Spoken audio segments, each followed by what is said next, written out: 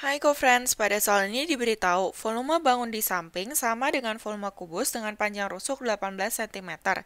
Ditanya panjang P adalah berapa cm. Bangun di samping itu adalah balok karena dia punya panjang, lebar, dan tinggi yang berbeda-beda. Nah, kalau volume balok rumusnya adalah panjang kali lebar kali tinggi. Nah, kalau misalnya kubus itu volumenya adalah rusuk dikali rusuk dikali dengan rusuk. Nah, sekarang berarti di sini dapat kita tulis volume balok balok akan sama dengan volume kubus. Jadi tinggal kita masukkan angkanya P dikali 9 cm dikali 24 cm sama dengan 18 cm kali 18 cm kali 18 cm. Nah, berarti P dikali 9 cm dikali 24 cm adalah 216 cm persegi, sama dengan 18 cm kali 18 cm kali 18 cm adalah 5832 cm kubik.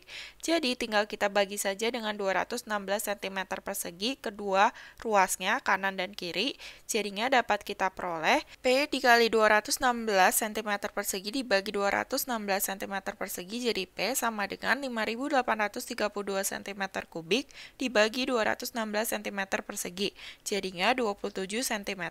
Maka P-nya sama dengan 27 cm yaitu yang B. Nah, kita sudah selesai mengerjakan soal ini. Semangat belajarnya ya, co-friends!